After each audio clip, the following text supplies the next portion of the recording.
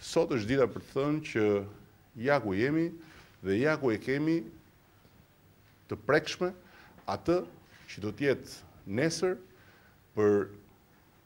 gjithë njerëzit në nevojë, qendra spitalore universitare Nënë Tereza në të gjitha strukturat e veta. Por, si çdo gjë që kërkon kohë, kjo do të kërkojë kohën e vet, por koha që do të kërkojë do të jetë shumë më e shkurtër se koha e humbur në gjithë këto vite degradimi, rrënimi dhe bastardimi të shërbimit spitalor dhe braktisjeje të mjekëve, të infermierëve dhe të gjithë trupës që ka punuar me heroizëm në gjithë këto vite, në mungesë të plotë të një organizimi dhe të një administrimi ashtu siç duhet. Këtu ne mund të shohim edhe bazën solide të asaj që do të jetë reforma më e rëndësishme strukturore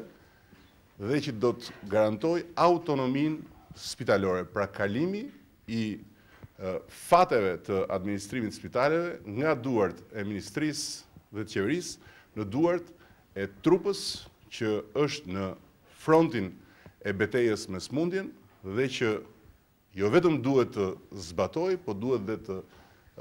projektojë dhe të ketë në dorën e vet mundësinë që